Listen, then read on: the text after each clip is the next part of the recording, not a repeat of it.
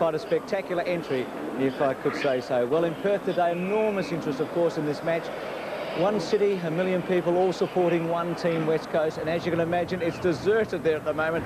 They're all watching the game through Seven Sport. Many thousands have flown to Melbourne today. There was a jumbo jet, in fact, that came over today, more than 10 extra flights from Perth, but the streets are completely deserted. One place that's not deserted is Steve's Hotel.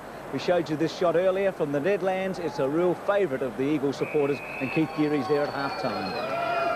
Yes, Bruce, they're, uh, they've livened up here a little bit. We're in the Eagles Club Bar. Now, prior to the game, I did a bit of a survey. The average result was a win to the Eagles by 12 points.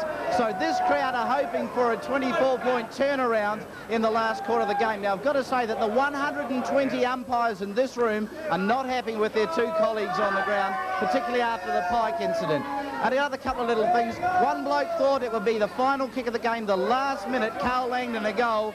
Somebody else had a dream this week and thought that uh, the game would end in a tie. But this lot think the Eagles are going to get home.